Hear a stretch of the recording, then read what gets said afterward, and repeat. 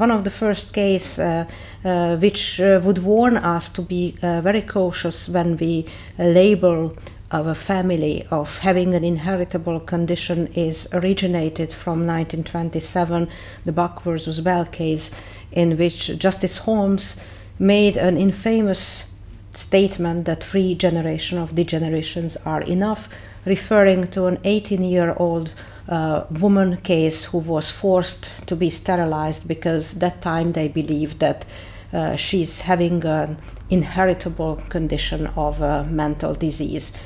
Um, but our thinking about uh, genetic disease or genetic conditions and also conditions which affect of the neurodegenerative conditions have changed since that time. I think that uh, not only scientists know much more about the human uh, genome and also specific genes which might uh, show the susceptibility to certain conditions, but the consumers, the society, the law, and ethicists also elaborated new ideas in this field. Uh, one thing which should be the basis of all legal uh, thinking in this realm is that we should respect the autonomy of the person who is uh, willing to undergo testing. And uh, uh, secondly, before any genetic tests, it's very important uh, to really check whether the person uh, knows uh, what does it mean later on, um, uh, the results of a susceptibility test. These are not the part of the common knowledge yet, and I think that even um, a family doctor may not able to tell all the consequences of such testing. Some people simply identify themselves as belonging a certain patients group, those who might have uh, developed a genetic disease later.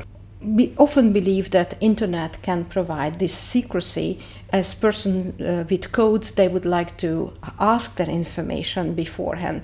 Healthcare systems have not yet uh, developed adequate uh, policies how to deal with that. We know on one hand uh, the Oviedo Convention and also the additional protocols are very much emphasizing in Europe that we need to have um, genetic consultation in any cases when we deal with uh, predictive testing. Privacy, um, right to privacy, has become an important value and uh, a right in the field of genetic testing uh, because it provides an answer and the legal arrangement for the situations of how genetic samples are collected, in what way they can be used in one particular research or in the clinical agenda, and also where it can be and what conditions could it be disclosed to third parties. And also it provides answer for the retention of uh, genetic samples. Uh, we often forget about it that privacy is not equal to medical confidentiality. It is a much more broader concept. It also provides an active role in the patient's decision. The patient can uh, control what should be done with his uh, genetic samples, with the information which is derived from uh, these samples.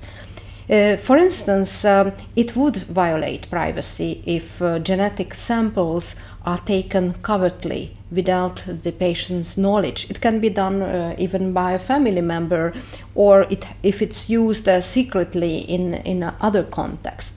Um, now we live in a time when genetic tests are often done uh, one year or even a longer period of time after the person uh, visits a clinic. And um, this, of course, might provide uh, the possibility to test uh, the patient samples for other conditions which has been agreed with the patient. Uh, privacy, right to privacy, also responds to these cases and provides uh, an important right uh, for the person to decide what can be done with the uh, genetic uh, samples and how information can be disclosed uh, to other people, to third parties.